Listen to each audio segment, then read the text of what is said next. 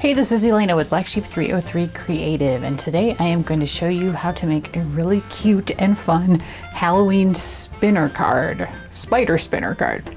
If you are interested in how to cut out this SVG file using your electronic cutting machine, whether it be a Cricut, a ScanNCut, or a Silhouette machine, the steps on how to do that are available on my website's resource library.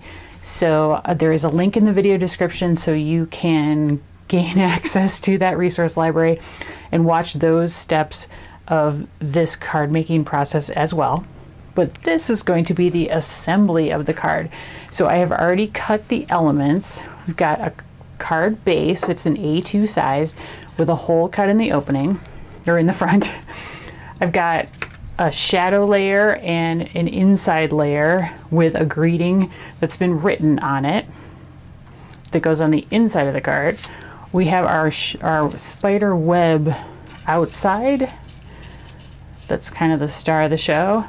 And then there is a frame that goes around the inside of the opening in the front panel to cover up our spinner mechanism. Now to start off with, we're going to start with the spinner itself, which is going to be this cute spider. And to make him a little more special, I'm going to use some flock, some black flock with glitter to make him fuzzy and then sparkle him up. So this is from Pink and Main. It's really fun and really easy to use. And I will have all the supplies linked in the video description if you want to check that out. All right, so how do we get the flock onto the spider? Now we need the front of the spider, which has the eyes cut out. And then we also have a back of the spider. So these guys get sandwiched together with the spinner in between um, the spinner mechanism so that it he will spin. So I flipped over the back of the spider, so I'll be working on the on like the outside and this is the top of the spider. So we're going to put glue on both of these surfaces, dip it in the flock so he gets all nice and fuzzy, and then um, let him dry and we'll be good to go and then we'll start making the spinner. All right, so to do this, I'm going to use glue. And this gets a little messy, so if you're not into getting messy, well, you may you may have to find an alternate method. So I'm gonna just basically like put out a puddle of glue here. Pretty good size. And I'm gonna dip my finger in it. And I'm just gonna spread it over the spider. I don't want like a super thick layer, but I don't want a super thin layer either. This, this glue has a nice open time to it, so it's not to dry too quickly grab my tweezers here to hold them. Okay, that looks pretty good. And then I'm taking a coffee filter and I'm gonna dump the flock into the coffee filter. Some of it. And then I'm gonna take the spider and I'm gonna dip him in the flock. And I'm gonna take my finger without glue on it, or fingers, and press his legs into the flock just to make sure that I get a good coating all over him. And I'm going to take my tweezers and check. Oh, yep, looks pretty good. He's all fuzzy and sparkly. All right, so I'm going to set him aside to dry. And I'm going to repeat the procedure with the front of the spider.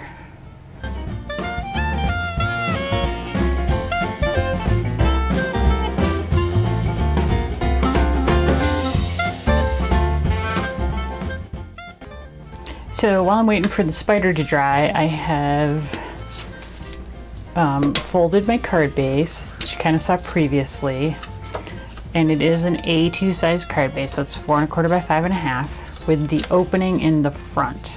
First, the easiest thing to do is to adhere the two panels together and then adhere that to the center.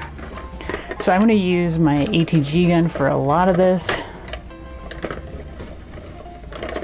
just to get the like major sections of the paper with adhesive on it. And then I'm going to take my skinny tipped glue here and just add a little bit of adhesive into these real pointy, pointy tips and the very edges.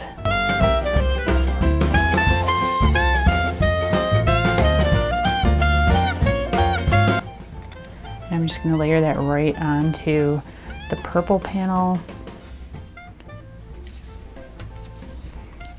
All right, there we go. And then this just fits right inside, kind of evenly spaced all the way around. And you can double check to make sure the greeting is hidden. should be, it's designed to be. and then on this one, I'm gonna use just nothing but glue. That will help me if I get it in the wrong spot. I can kind of move it around a little bit.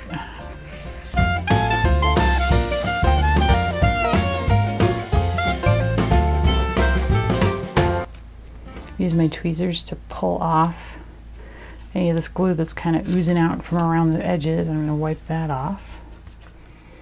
Okay, so there's our inside panel. Now I'm going to put the spider webs on the front of the card. Now if you're concerned about being able to line up the frame all the way around the outside of the card, which is a little tricky, I'll be honest, you can just trim off these sides and just have it as, you know, a top web area. I'm going to go for the whole thing so. so this is from Bearly Arts and it comes with a couple different tips. And this is like the ultra fine tip. And so that makes it much easier to get glue in like thin amounts onto something this delicate. So I'm just going to dot it on kind of randomly, trying to not get too big a dot anywhere.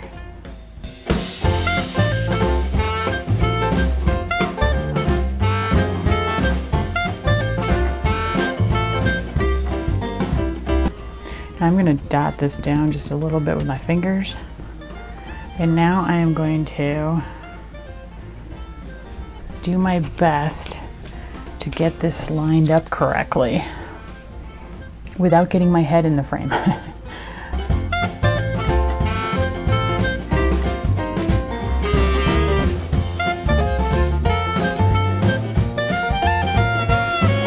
that looks pretty good. So I'm going to put that to the side and let that dry.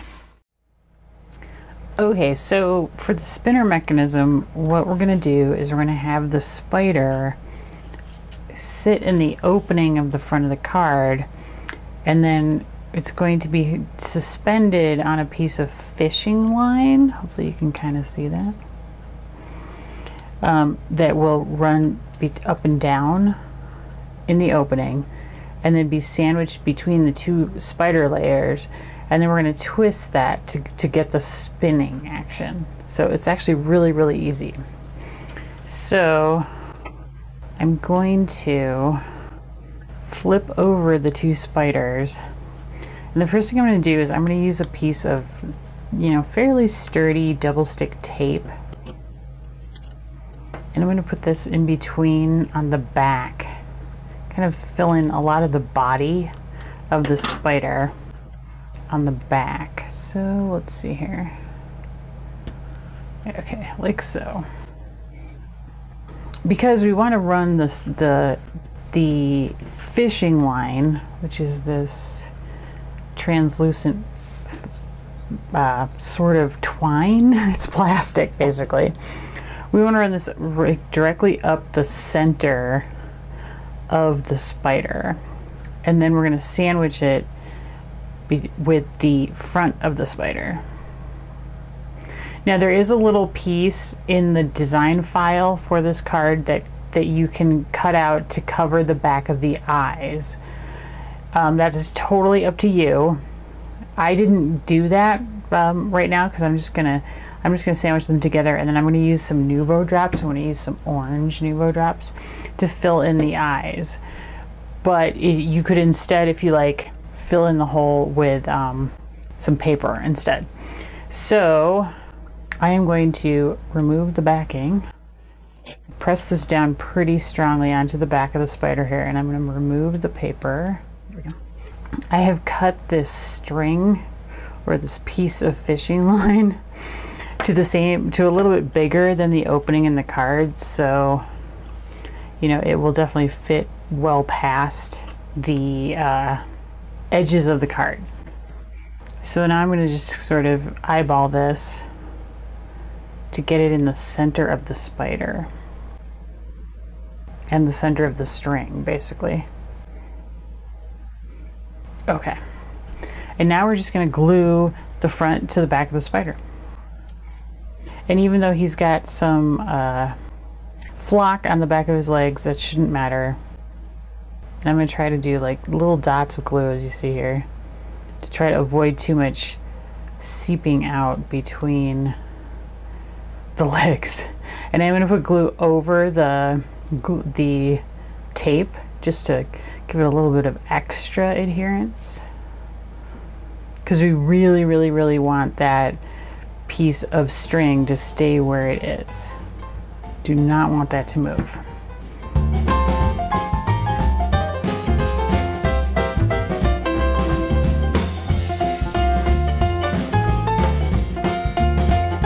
All right, so there we have our suspended spider who's going to spin for us like so. So then our last step is to, for the spinner, is to, to suspend him up and down in the opening of the card as we see here. And you're trying to want to get him like about in the middle. So I'm going to again take some tape and I am going to cut like a small piece to put just at the very bottom. Then I'm going to cut another one just at the top. But we don't want it to be any bigger than the frame piece that's going to cover this. So just bear that in mind. You know, you don't want the you don't want the tape sticking outside of that. And then I'm going to cut another piece of tape and we're going to sandwich the string in between the two layers of tape. So I do suggest that you want obviously the eyes on the front. So if it's easier to color the eyes in now so you can really see which is the front, which isn't, I would suggest doing that now. I'm going to do it afterwards. All right, so this is my front because you can see his eyes are reflecting there. So I'm going to put him down like so. And I'm just kind of eyeballing what is straight up and down. Looks like about there to me. And then I'm just going to take that second piece of tape and stick it right over the first piece of tape to really sandwich that in there nicely. Because again, we don't want this the translucent string to come off of the back of the card. And I'm just going to try to cut this string as close to the tape as I can. Which is a good reason to make this a little bit longer. Because it's easier to cut off when the piece is a little bit longer. Yeah, so you want that string to be really tight across that opening. Okay, and so now we're going to just put the frame around the inside of the opening to cover up those like little pieces of tape where the string is holding on the inside. So to do that, I'm going to use my glue again.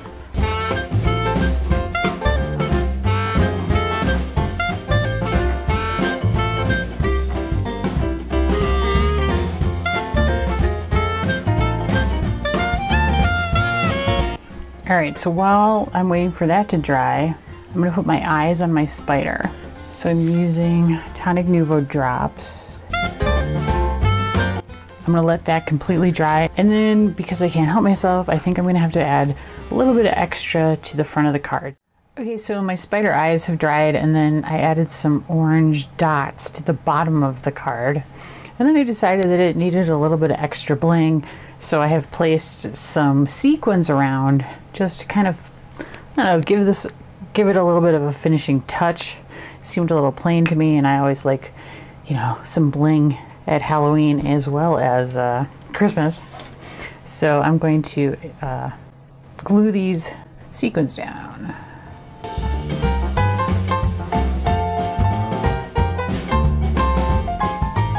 And then I thought adding maybe a little bit of um, this Gelly Roll Clear Star pen would be kind of fun. It's a, it's just a, a glittery pen, glittery kind of clear pen. So I want to connect the uh, spider web here to the the translucent string to the web. And then I'm going to just put a couple little dots small dots.